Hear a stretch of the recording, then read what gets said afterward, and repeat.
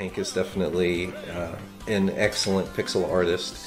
Really nice use again. Like you could look at the back layers; they keep things uh, even more muted, lower contrast, excellent sense of depth. Oh yeah, before all the internet issues I started to mention, look at the shadows cast by the clouds down there. It's just one solid semi uh, by solid I mean it's just one semi-transparent value. It's not like a bunch of blendy feathery stuff like modern 24-bit or even what they could have started doing in like the PlayStation 1 days. And yeah Super Nintendo could do this game but not widescreen. Like this resolution Right. is too high. And you know it would definitely suffer slowdown if there were more things on screen but just as far as number of on-screen colors and stuff like that uh, and the amount of semi-transparency Yeah, you would have to. The size of a lot of this art, you would. Yeah. It would take Shrink a big down. hit trying Yeah. to put it on a legit 16-bit system because of the memory issues. But you know, you you could probably make a decent port that played close. But Yeah, it yeah. wouldn't look nearly as good. Yeah. yeah so- the, the closest would be the arcade boards back in the day like you know Right, the capcom uh, later generation capcom arcade boards and stuff like that yeah, this definitely would be a good game to have like in an arcade cabinet or something. Yeah. I think that would be. yeah speaking of uh, seems that style. Yeah. Speaking of that, I, I just found out before recording this video with you that the um, the the guys that made this game and made uh, Xeno Crisis, they're uh, working on porting Xeno Crisis to the Neo Geo, which is really cool. Oh, nice. So I wonder if they're going to try to give this the same treatment. It would be interesting to see how well the Neo Geo can pull this game off. Uh, again, Probably it couldn't. pretty close. I Yeah. would say. Yeah. Yeah, couldn't be widescreen, and to my knowledge, the Neo Geo has no built-in semi-transparency. Um, ironically, like it's super powerful, but that's one feature that it just did not have. Yeah. Uh, whereas You know, the, the, Mega, widescreen yep. thing. Uh, sorry. No, no, go ahead. The widescreen thing. Now that you mention it, does play a part because Yep. people underestimate how big of a difference that makes when you scrunch it into four x three, and, Yeah. and you've got the same size of like characters and stuff. Yeah. Uh, It can really get claustrophobic. difference. Yeah. So. So at which point either the gameplay suffers or you make the decision, which uh, back then they also needed to make that decision to save memory, uh, like on a home console or something. But uh, you know, you, you either have to shrink all the sprites, which is going to lessen the visual quality, or you need to. Um, you know, compromise and let the gameplay less good because things are too claustrophobic.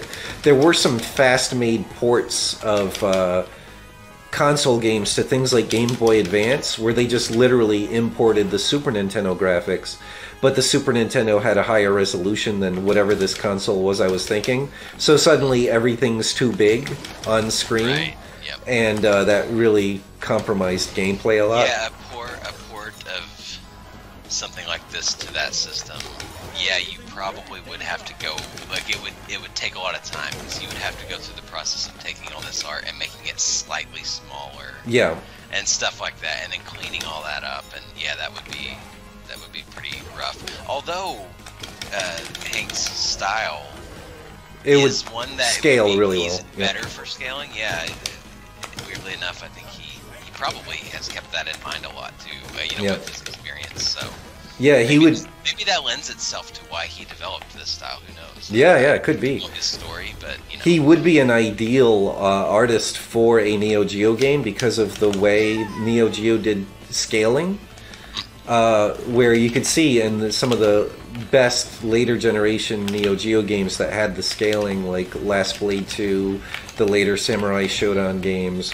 They that's where that that's when that style of pixel art really became dominant and beautiful the no outline thing where before then in the 8-bit days everything had a pitch black outline virtually.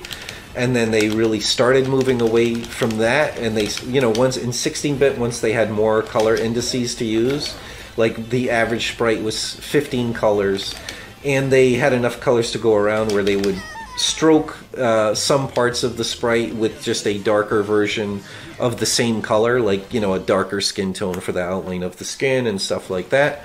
Uh, and then eventually you ended up with a style like Henk's style uh, that he tends to use, where there's no outlines at all. It's just the kind of rendering of the thing, and it's not rely, relying on the stroke of the thing at all.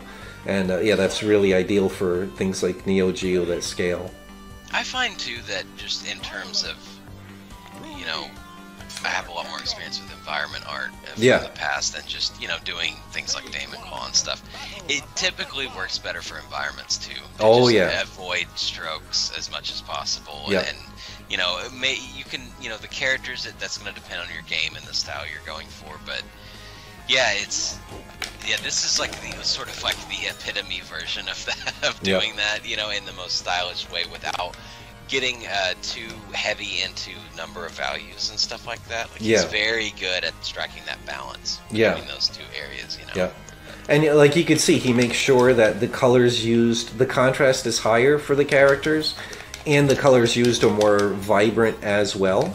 So that, Right. that's the other reason they show up really well. But that is another thing that, that works great in retro games and in uh, cartoon animation. That's why, you know, Disney uh, typically did the hand painted, more oil painting style environment art, on t- and with the cell shaded, outlined you know animated stuff the characters and that's really going to ensure your environment can look really rich and lush but still your characters and stuff are going to just really show beautifully uh, against it Right. and Yep. they could have gone the same way with this games and it is much closer to the what we're doing in games like Daemon Claw and Metro Siege where the environment art does not have the outlines but the characters have the outlines but more like the 16-bit style where it's not just a pure black outline everywhere Yeah, yeah. I'm always of the mind that you know there are some things like I- I'll I'll bump into that right where it's like there's some things that feel like they need them and some things that don't. Yeah, absolutely. But you don't. But you don't. You kind of want that to be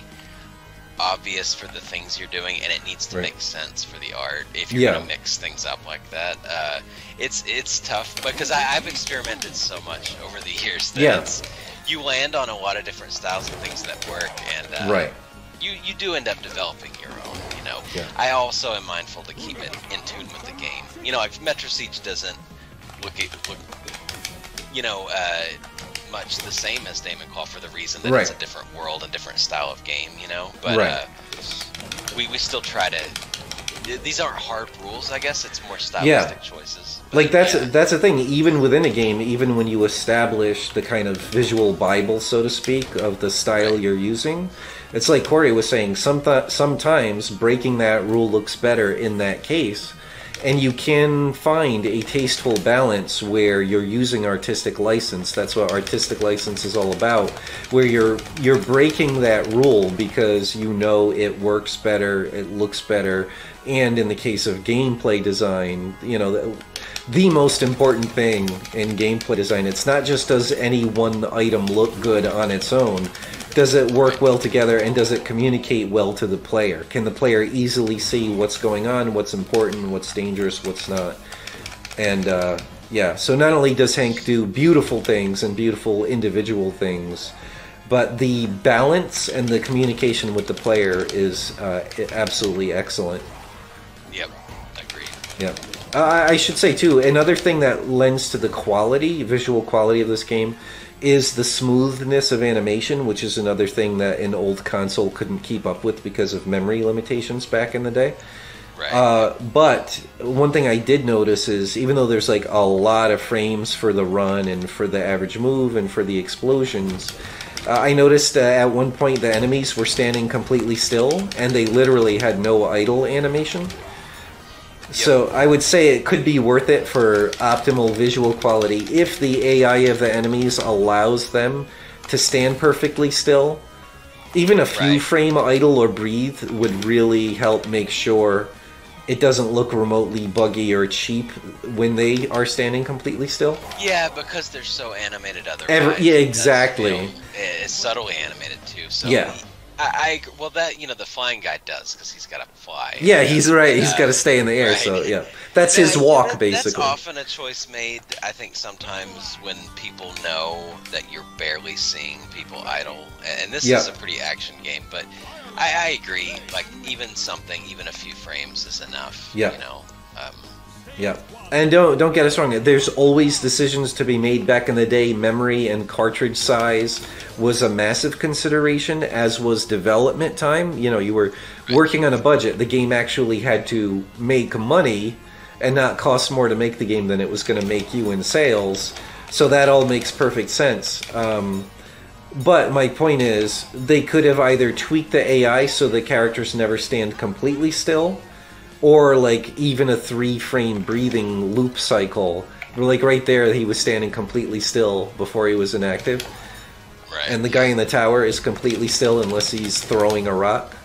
So um, yeah, you sort of expect with this level of animation, you sort of expect a little bit of breathing or yeah, exactly. mouth movement or something. Like those guys have big mouths. Exactly. So you would think they would do something while they're standing Yeah. still. I guess. And like those appear animations are like probably, you know, getting close to 20 frames. Look at that! Look at that yeah. smoke under that machine and how many frames. Like, oh yeah, the next time we get to one of those troll generators, let me remind me. I need to bring up a point about uh, memory optimization and just saving time. The design of that machine, or we could just edit in footage of it while I'm talking. But the design of that machine, because everything is rotating, you could see it was designed in a very symmetrical way where you don't need a ton of frames to create the illusion that it's just infinitely rotating because there's the same detail over and over again. So it only has to use a few a handful of frames to get there it is. So look at the spikes that are rotating. On the top they needed more frames for the top bit uh, because there's only two spikes that go around but it is going around faster too so maybe not but you could see uh, those bottom spikes, you only need as much frames to get one spike over to the position of the other uh, spike. And it'll create the illusion that all of the spikes are uh, wrapping around infinitely. Oh, and uh, the other thing, like this tree has an idle pose, but it's breathing. But um, Tish, you see what I like? Right, yeah. Imagine if that tree wasn't animated, how much more dead the environment would seem. Yeah.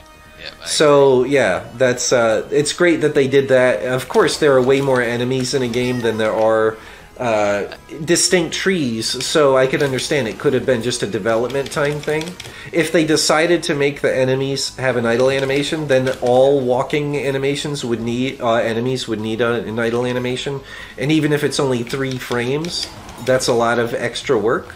So they may have made that decision that it wasn't worth that time investment. So I don't know if you saw what just happened, but I forgot where the boss fight was. And literally, even though I destroyed the other enemies, I was like roaming around looking for somewhere to go on the bottom of the screen where all I had to do was scroll up a couple more pixels and it would auto trigger the boss fight. Like, if you're going to do that, why not put the arrow there to let people know so they're not getting lost or wasting time? So I, I Yeah, vote big time for arrows if you're making a game like this. Yeah, or even an update that adds that. You Yeah, know, yeah. like, They could, they could easily update Sorry, people, I don't usually suck this bad, but uh, you know, you do what you can in the moment while you're also uh, in a conversation.